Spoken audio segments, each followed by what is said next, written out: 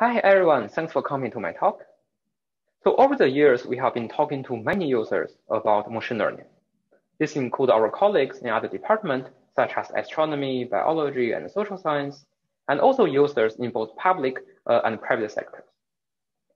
What's very clear from talking to and working with all of these users is that almost everyone is very excited about the potential revolution that could be enabled by machine learning.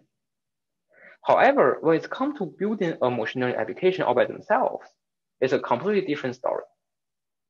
Because alongside all this excitement, we see new machine learning methods and models being developed almost every single day.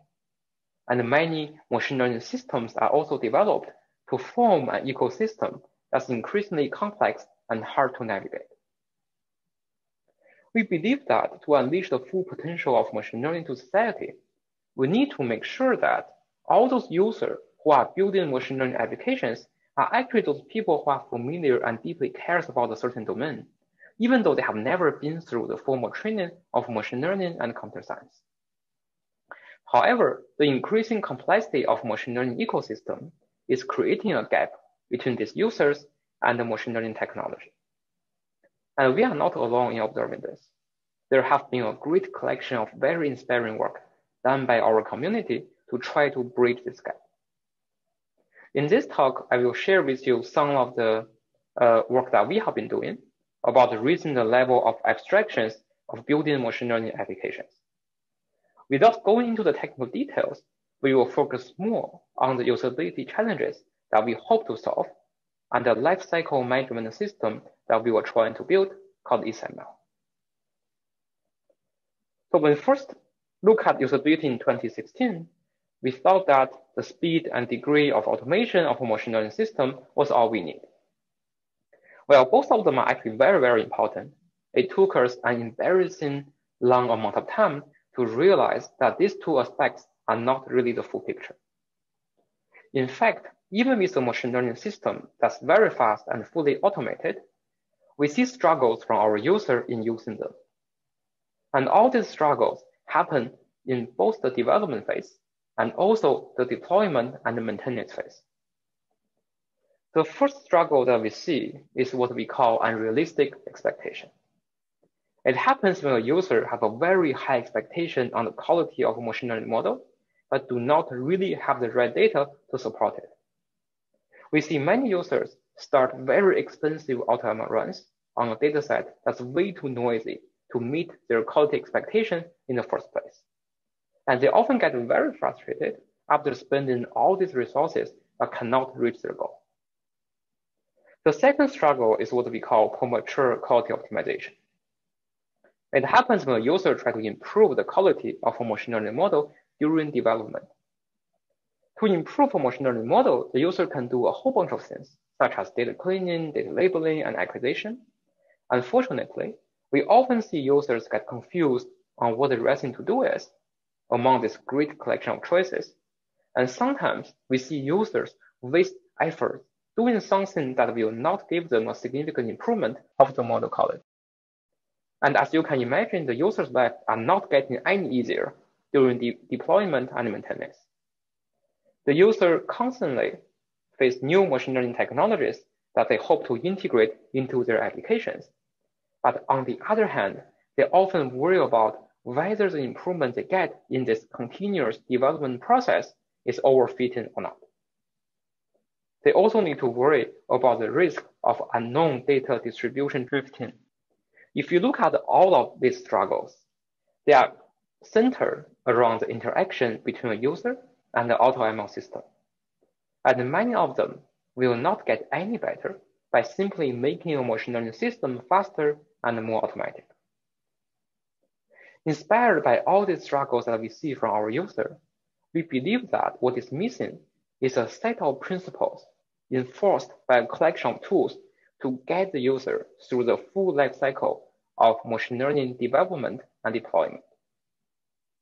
So EaseML is our first trial in doing this, which provide a collection of tools that together defines an end-to-end -end machine learning process.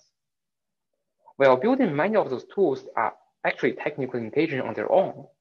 In this talk, let me show you the process If you are interested in how each of these tools work, you can find more details on our Ease.ML website. Ease.ML is integrated uh, with the Jupyter Notebook, which is a very familiar environment to many users. The very first step is to load the dataset. So here, Ease.ML distinguishes four different type of datasets. All have the same data schema, but different freshness and quality. We call them the training side, the validation side, the testing side, and the production side. The production side is the freshest one coming directly from the production, which does not have labels. But testing and the validation side are labeled datasets, but they are less fresh compared with the production side. Whereas the training side could come from a very different distribution because of weak supervision, and they may contain both labeled and unlabeled data examples. Once these datasets are loaded into the system, the first component of Ease.ML is a tool that we call Data Magic. Data Magic automatically inject uncertainties into the data and output a probabilistic database that all downstream Ease.ML components are going to work with. These uncertainties can come from different sources. For example, running existing data cleaning tools can give you alternative values for features. Running weak supervision tools can give you alternative values for labels. Data augmentation and missing values in both features and labels can also introduce uncertainty. One key design decision in Ease.ML is to model all these different sources of uncertainties in a single unified framework. And we treat improving the quality of a machine learning model as a process of eliminating different parts of uncertainty. Once the data is loaded, the user then load a collection of old models. We call this the model pool. We assume that all the models in this model pool are candidates for final deployment. The goal of the user is really try to develop a new model that is better than all these old models and add this new model into the model pool. Once the dataset and model pool are loaded into the system, the user now start their Ease.ML journey. One primitive that we introduce uh, is a command called what next. When the user issues this command, the system provides suggestions on what it thinks the user should do next. Some of these suggestions are actually pretty standard. For example, here, uh, the system may ask the user to identify which column should serve as a label. The user can simply follow this instruction and call what next again. The first non-trivial step of the Ease.ML process is what we call feasibility study, which is enabled by a tool that we call Snoopy. This step takes as input a quality expectation from the user. For example, we hope the accuracy to be higher than 80% at the end. It then tries to estimate whether this goal is really feasible or not with an estimator of the best achievable accuracy given the current dataset without running an expensive AutoML system. If Snoopy believes that such a quality target is not really realistic, uh, it will then bring the user into the quality engineering phase. So in this phase, the system will suggest some operations that users should do to improve their dataset. For example, here the system uh, believes the user uh, could do both data cleaning and data acquisition, but it also believes that the user should do data cleaning before data acquisition. For both data cleaning and data acquisition, the system will actually suggest some examples that it believes the user should look at in order to maximize the final model accuracy. The goal here is to give users the guideline to make sure they can focus their effort on where it matters. And after multiple of these iterations of data cleaning, acquisition, and feasibility study, it then comes the time that we can fire up our AutoML system. And during AutoML, what the system is going to do is to automatically try a different set of combinations of models, features, and hyperparameters, and return the best model to the user. The user can then pick the best model as candidate for deployment. Now let's come to the testing phase.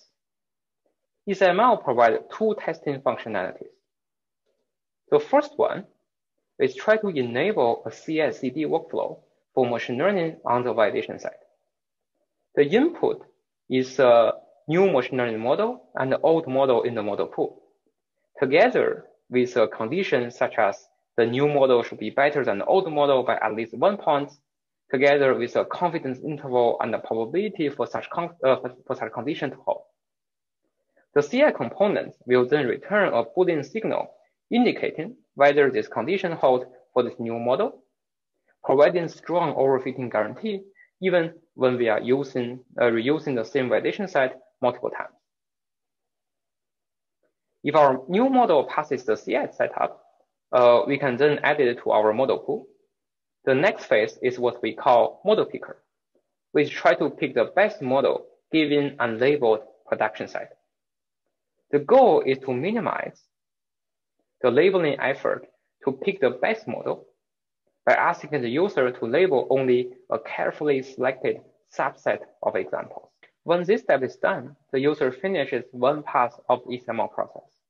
I will then start to further improve the quality via another pass of data cleaning, acquisition, and labeling suggested by the Ease.ML system.